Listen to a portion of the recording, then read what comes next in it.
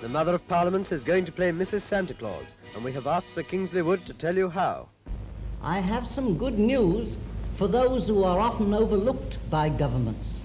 We call them the black-coated workers, people of small means like clerks, many shopkeepers, dressmakers, music teachers, and farmers.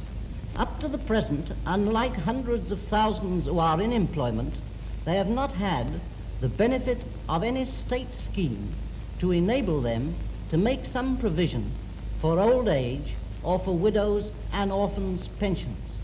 Parliament is now being asked to meet this considerable need, and I have no doubt will be glad to give its approval.